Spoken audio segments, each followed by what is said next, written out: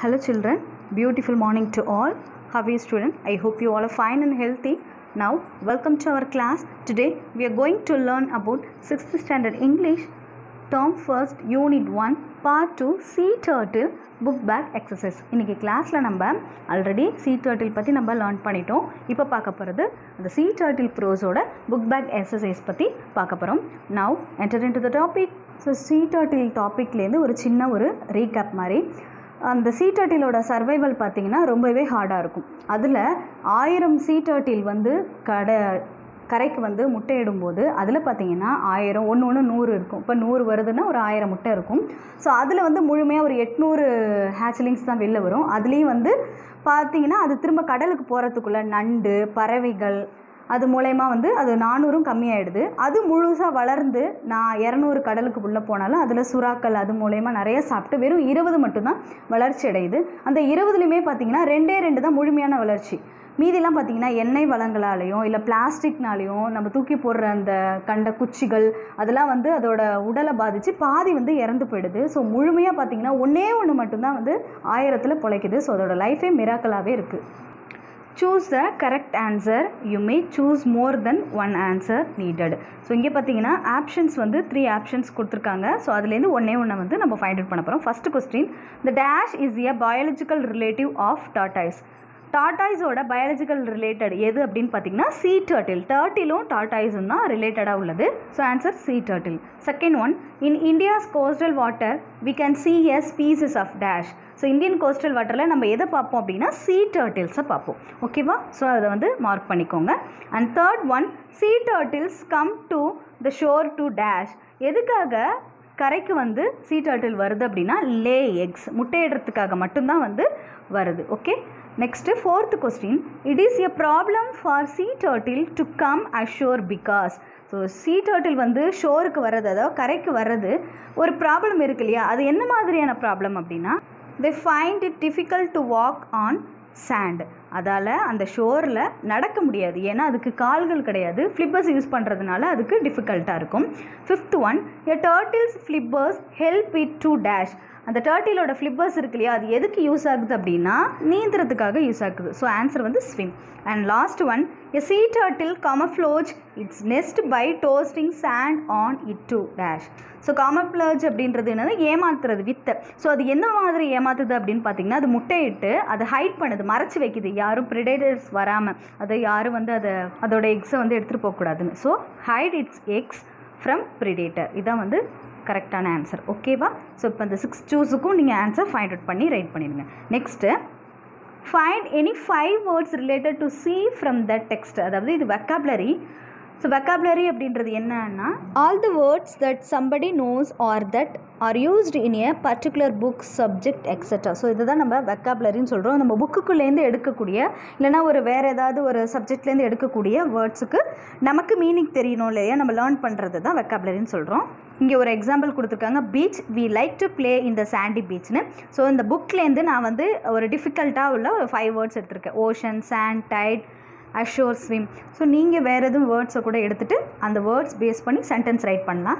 Ocean ஓஷன்னா பெருங்கடல். So the ocean is bigger than the sea சீயை விட ஓஷன் ரொம்ப பிக்கராக இருக்கும். நெக்ஸ்ட்டு சாண்ட் சாண்ட்னா மணல். The children like to play in the sand குழந்தைங்களுக்கு மண்ணில் விளையாடுறதுனா ரொம்ப பிடிக்கும். நெக்ஸ்ட்டு டைட் டைட்னா அலைன்னு அர்த்தம். The tide is very high அந்த அலை வந்து ரொம்ப ஹையாக இருந்துச்சு. ரொம்ப வேகமாக இருந்துச்சு. உயரமாக இருந்துச்சு. நெக்ஸ்ட்டு அஷோர் அஷோர்னா கடற்கரை. ஸோ இதை பேஸ் பண்ண sentence the swimmers will come at ashore at five o'clock அதாவது நீச்சல் ப்ராக்டிஸ் பண்ணுறவங்களாம் என்ன பண்ணுறாங்க அப்படின்னா ஃபைவ் ஓ கிளாக் வந்து கரைக்கு வந்துட்டாங்க. நெக்ஸ்ட்டு ஸ்விம் ஸ்விம்னா நீந்துறது. ஓகேவா இது பேஸ் பண்ண sentence the fishes and dolphins swim in the sea ஃபிஷ்ஷஸும் டால்ஃபின்ஸும் கடல் என்ன பண்ணுது? ஸ்விம் பண்ணுது. ஸோ நீங்கள் வேறு எதுவும் எடுத்துகிட்டு அதுக்கு சென்டென்ஸ் ரைட் பண்ணிக்கலாம். ஓகேவா next filling the blanks with words that convey the correct meaning of the sentence கரெக்டான மீனிங் ஏதோ அதை சூஸ் பண்ணி ரைட் பண்ண போகிறோம் first one tiny hatchling fall dash to many predators so அந்த ப்ரிடேட்டரால் அந்த குட்டி குட்டியாக இருக்கிற அந்த குஞ்சுகள்லாம் என்ன ஆகிடுது அப்படின்னா அதுக்கு உணவாயிடுது. ப்ரேனா உணவு. எந்த ப்ரே வரும்னா பிஆர்இஒய் ப்ரேனா உணவு.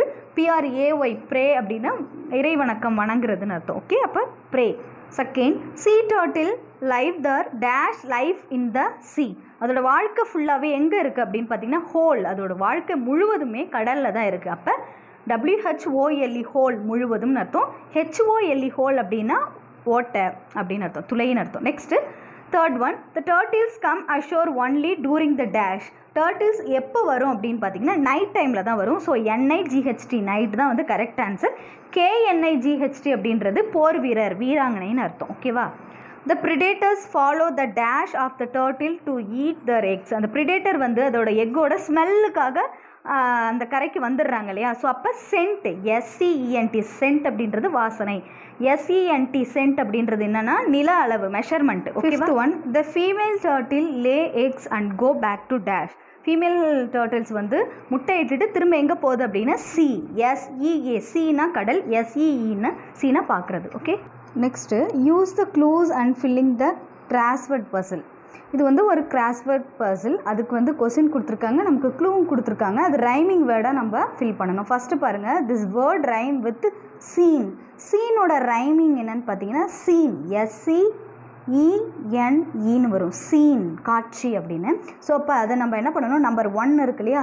ஸோ அது மேலேருந்து கீழே அப்லேருந்து டவுனில் இருக்குது ஸோ அப்போ அந்த இடத்துல என்ன பண்ணணும்? சீன் அப்படின்ற ஸ்பெல்லிங்கை நம்ம ரைட் பண்ணணும்.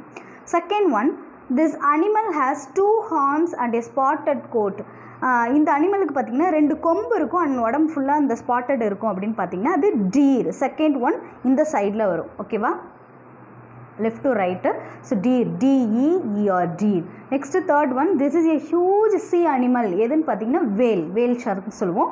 ஸோ இதுவும் பார்த்தீங்கன்னா கீழே லாஸ்ட்டில் பாருங்கள் W H A L E whale next and ஃபி fourth one sounds like hair ஹேரோட sound மாதிரி வரும் ரைமிங் வேர்டு அது என்னென்னு பார்த்தீங்கன்னா ஹேர் அப்படின்னு. அதுவும் முயல் தான். ஹெச்ஏஆர்இ ஹேர்னு சொல்லுவோம்.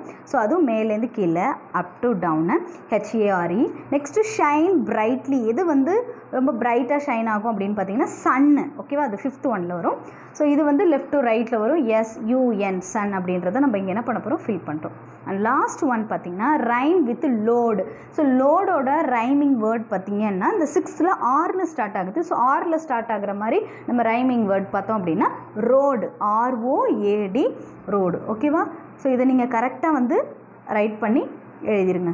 நெக்ஸ்ட்டு பார்க்க போகிறது வந்து ஒரு grammar topic subject and predicate ஓகேவா சப்ஜெக்டும் ப்ரிடிகேட்டும் சப்ஜெக்ட் அப்படின்னா என்னென்னா ஒரு ஆக்ஷனை எந்த நேம் செய்யுது எந்த பர்சன் செய்கிறாங்களோ அது திங்ஸாக இருக்கலாம் அது ஃப்ரண்ட்டில் வர்றது. ஃபஸ்ட்டு சப்ஜெக்ட் எப்படின்னு பார்த்தீங்கன்னா அந்த விஷயம் அவரால் செஞ்ச செய்யப்பட்டது அப்படின்னு இருக்கும். ஸோ அந்த இடத்துக்கு இம்பார்ட்டண்ட்டாக இருக்கும். ஸோ நம்ம அதை சப்ஜெக்ட்னு சொல்லுவோம். ஸோ இங்கே பாருங்கள் the subject of a sentence is always a noun or a word or words that can take the place of a noun so subject அப்படின்றது ஒரு நவுன் நேமிங் வேர்டு ஓகேவா ஸோ அது எப்பயுமே ஃபஸ்ட்டில் இருக்கும் சப்ஜெக்ட் வேர்டு இப்போ இங்கே பார்த்தீங்கன்னா த பேட்மேன் வி ராஜு அதாவது அது சிங்குலராகவும் இருக்கலாம் ப்ளூரலாகவும் நமக்கு இருக்கலாம் சப்ஜெக்ட் அப்படின்றது.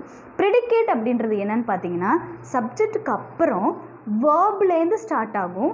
அதை தான் நம்ம வந்து ப்ரிடிகேட் அப்படின்னு சொல்லுவோம். ஒரு ஆக்ஷன் ஓகேவா so the predicate of a sentence includes the work and the object if there is one ஓகேவா ஒரு ஆப்ஜெக்ட் அங்கே வந்து மென்ஷன் ஆகிருக்கும் சப்ஜெக்ட் இல்லாமல் வேர்ப்லேருந்து ஸ்டார்ட் ஆகும். ஓகேவா இங்கே எக்ஸாம்பிள் பார்த்தீங்கன்னா hit the ball are going to the zoo has to rest அதாவது ஒரு சென்டென்ஸை சப்ஜெக்ட் அண்ட் ப்ரெடிகேட்டை நம்மளை பிரிக்க சொல்லுவாங்க.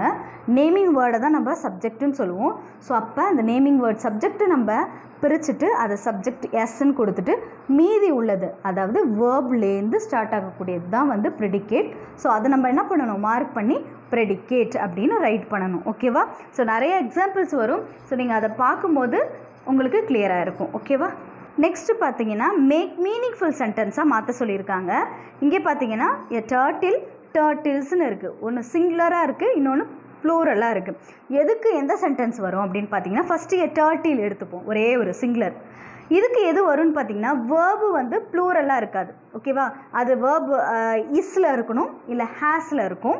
வேர்பு கூட எஸ் அப்படின்றதோ இஎஸ்ஸோ ஜாயிண்ட் ஆகிருக்காது இங்கே பார்த்தீங்கன்னா எது எதுலாம் வரும்னா a turtle is huge a turtle have a connection with the land a turtle has flippers to swim இது வந்து இந்த ஒரே ஒரு டர்ட்டிலுக்காக உள்ளது. ஸோ அதை மட்டும் நான் மேட்ச் பண்ணி இங்கே கீழே ரைட் பண்ணியிருக்கேன்.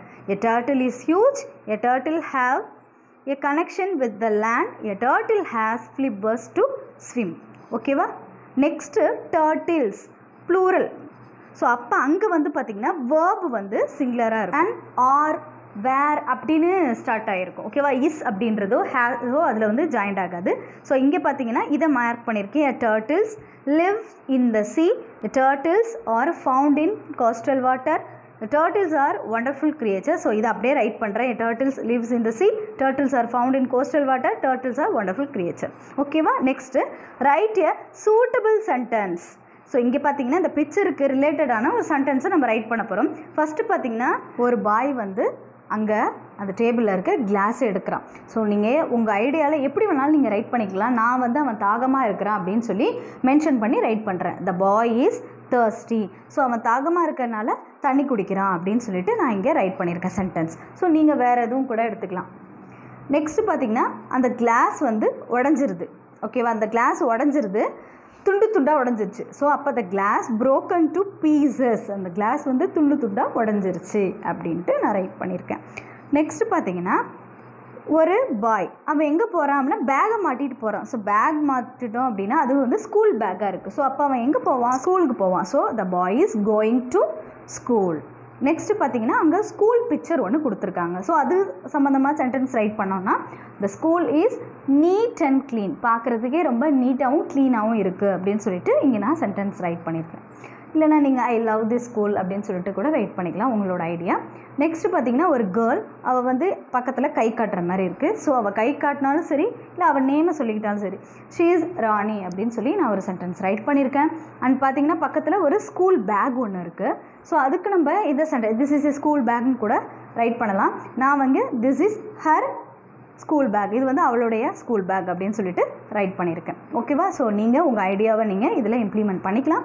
Next match the two halves of the sentence and read them so இந்த சென்டென்ஸை டூ ஹாஃபாக டிவைட் பண்ணியிருக்காங்க.